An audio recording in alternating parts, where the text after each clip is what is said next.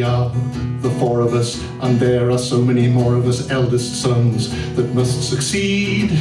We know how Caesar conquered Gaul and how to whack a cricket ball. Apart from this, our education lacks coordination, though we're young and tentative and rather unrepresentative scions of a noble breed.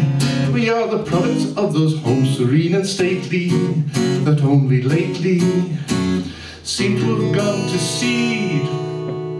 The stately homes of England, how beautiful they stand, to prove the upper classes have still the upper hand, though the fact that they have to be rebuilt and frequently mortgaged to the hilt is inclined to take the guilt of the gingerbread and frequently mars the fun of the eldest son, but still we won't be beaten. We'll scrimp and screw and save. The playing fields of Eton have made us frightfully brave. So still if the Van Dycks have to go and pawn the Bechstein Grand, we'll stand by the faithful homes of England.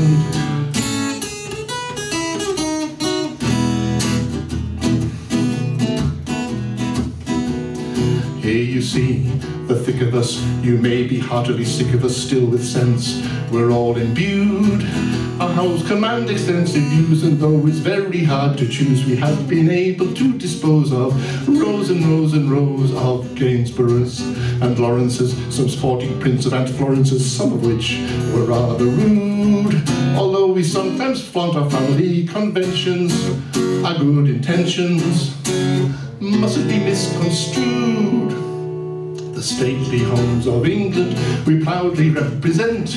We only keep them up for Americans to rent. Though the pipe that supplies the bathroom burst and the lavatory makes you fear the worst, it was used by Charles I. Quite informally and later by George IV on the journey north. The the state apartments keep their historical renown. It's wiser not to sleep there in case they tumble down. Still, if they ever catch on fire, which with any luck they might, we'll fight for the stately homes of England.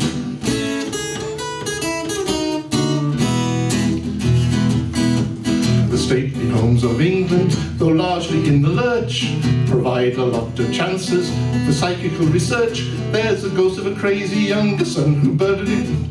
Sorry, start that again.